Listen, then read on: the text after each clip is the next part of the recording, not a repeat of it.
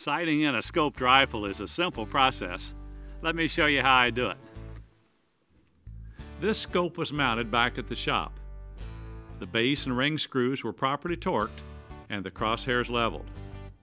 I also set the scope as far forward as possible for maximum eye relief. The first step is to bore sight this gun the old-fashioned way.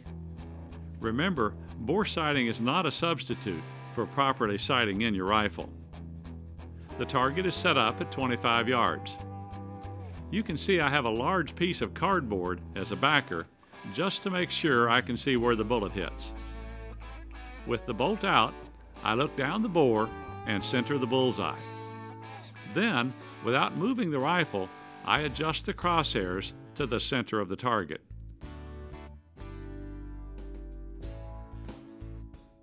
And fire one shot. Here's the next step. With the gun still in the rest and the crosshairs on the bullseye, I turn the turrets as necessary to move the crosshairs to the bullet hole. The gun must not move during this process.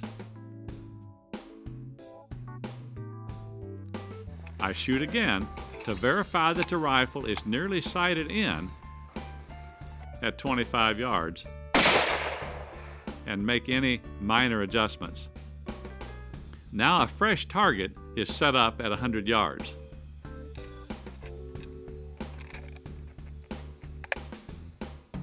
With the crosshair centered on the bullseye, I fire another shot.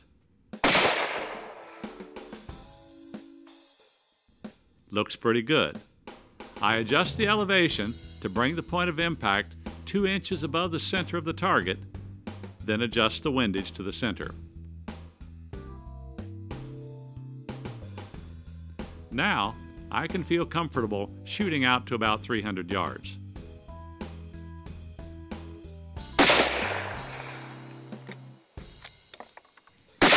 Then, I'll fire a few test groups.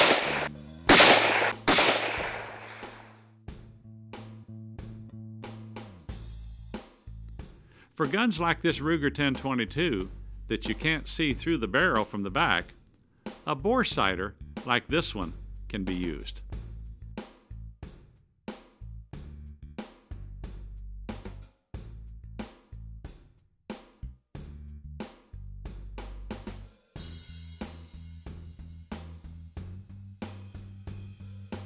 The process for sighting in the gun is the same. I get it on paper at 25 yards.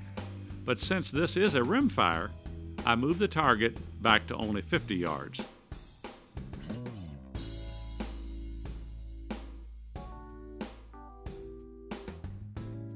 After the first shot, I can make any needed adjustments, then shoot for a group. I want this rifle dead on at 50 yards, so the group is centered in the bullseye.